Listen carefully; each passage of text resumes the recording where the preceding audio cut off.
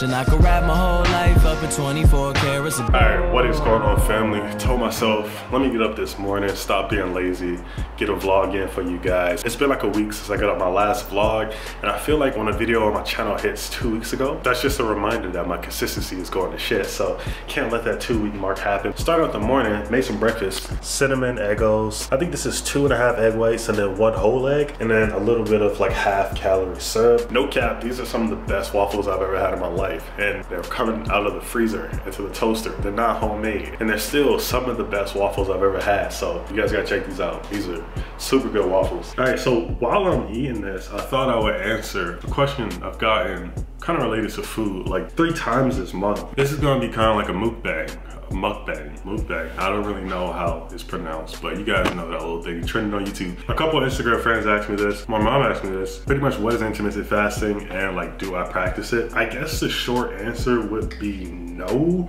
but yes. I know that kind of sounds weird, but I don't really consider myself doing keto if I only do keto two days a week. So most days in the week I will fast, but I won't say it's like a true intermittent fasting. Pretty much what I'll do in mine is I'll protein fast all the way till about one o'clock. So I have like one protein shake when I wake up in the morning and then I have another protein shake probably about like 12 o'clock.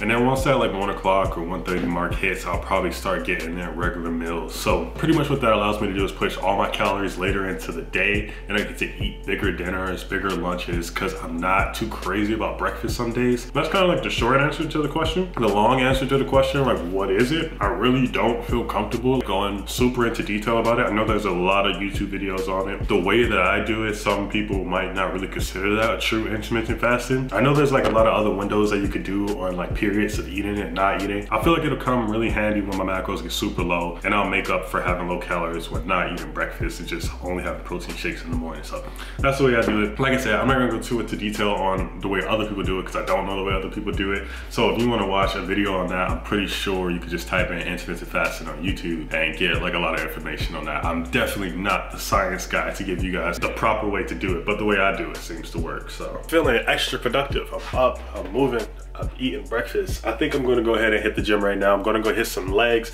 I haven't run you guys through my program since, uh, I guess the first time that I ran you guys through my program because the last video I did the how to calculate macros video. I'm about to take you guys through this leg day one of block one. So I don't wanna get too far in this program without keeping you guys up to date. So today we got some heavy squats, I'm pretty sure. After that, I think we have light deadlifts and then a bunch of accessory work. Problem is, I don't have anyone to film me today. I don't have any of the boys really going to the gym this early, but I do want to get the gym out of the way because I want to start editing this video really early and kind of have it ready for tomorrow to go up. And you would think that I got a bunch of media friends who are willing to film me, but that's just not the way it really works with people's schedules. Everybody is either at school, work, or they got something else better to do than to film my workout. So I'm about to set up this little handy cam tripod thing right now. I try to get as many clips as I can for you guys, and uh, we'll see how busy it is and see how that works out. But I'm gonna go savage mode, try and get all the clips I can for this workout. I wanna make sure I'm filling you guys in, bringing you along with me through running this program.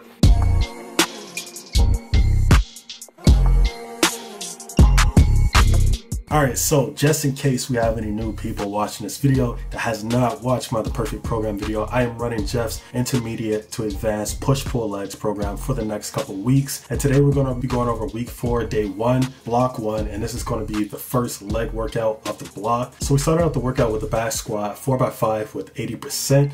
And the cue on this is to sit back and down, drive your knees out laterally. So we did a three to four minute rest time on this. I'll admit these were actually feeling pretty, pretty heavy today. Over the four weeks, this percentage has increased by I think like two five percent intervals, and yeah, now we're at 80%, and this felt like pretty heavy today. The next thing we moved on to was some deadlifts, two by eight, 70%, and uh, the cue on this is to brace your lats, chest tall, hips high, pull the slack out of the bar prior to moving the weight off the ground. This program was actually my introduction to deadlift. So my deadlift is probably a little weaker than people would think, uh, but I'm working on it. It's going up steady, starting to get a little more comfortable with my hand positioning, with just my overall form and technique, and it's starting to nicely fit in my workout routines. Next thing we moved on to was some sitting calf raises, 3 by 10 to 12 with an RPE of 8, 2 to 3 minute rest times. So what actually was here originally was a barbell hip thrust for the exact sets and reps, but I actually wanted to just switch it out for some more calf sets because I'm focusing more on calves than I am glutes and hamstrings. So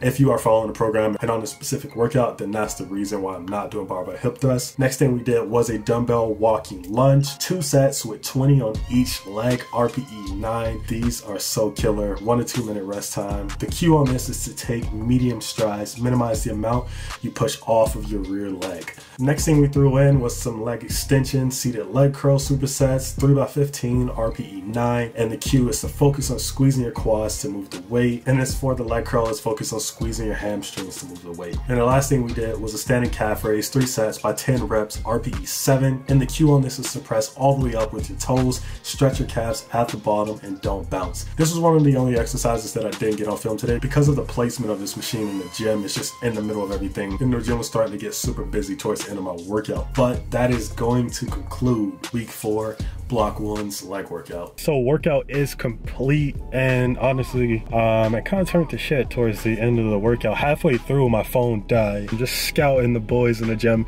trying to find a charger. And then I eventually found a charger and it was one of those like cheap chargers that don't really charge your phone. So halfway through listening to music, thinking my phone's charging, all the music just cut out and I'm like, all right it's not charging but we still got the workout in. I only did about 50 calories worth of cardio for my warm-up so i'm thinking finishing out the rest of the cardio for the day doing some basketball tonight at our um, local ymca so i think that's at like 9 30 or something like that. I'll probably bring you guys with me there. Hoop a little bit go drop 30 might drop 40 kind of like a late drop in session. So hopefully a bunch of people show up. We can actually get like a pickup game in because i'm down to hoop tonight so might have to hit someone up to come with me too. About to go home right now. I need to get this post-workout meal. Luckily i've been meal prepping so i'm gonna show you guys what i've been meal prepping because it's been saving me like a lot of time. Easy meal preps here but I got a couple of these. I think I only have three left actually. I just ate one. But what I have been meal prepping for the last few weeks. The last like two weeks I want to say I started this, but I've been making like set meals for like lunch and dinner. I don't know, I just feel like I spend half of my day cooking chicken or just cooking meals in general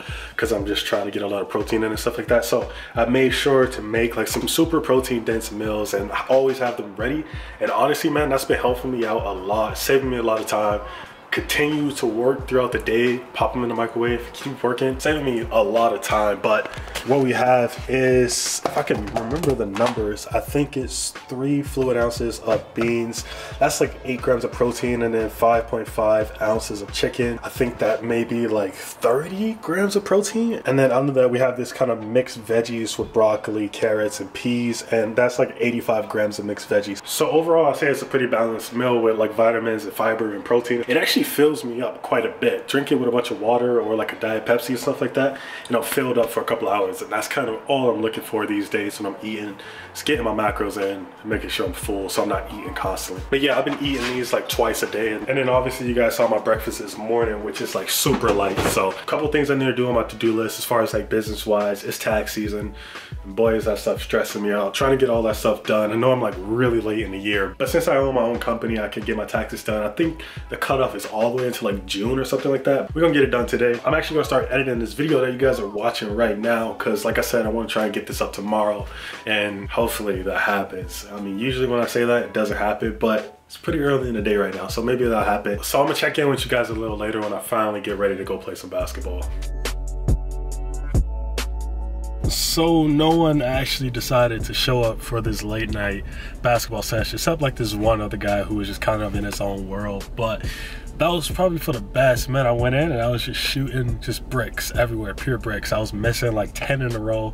I hit a couple shots, but man, like, I don't know what it was tonight. My arms just felt like jello, so I'm glad no one showed up because I was not dropping 30 tonight. End of the night, so I'm gonna end the video off right here. If you guys are new, join the crew, subscribe to the channel, leave this video a like before you leave, and I'm gonna catch you guys in the next video. personal yeah. I gotta go.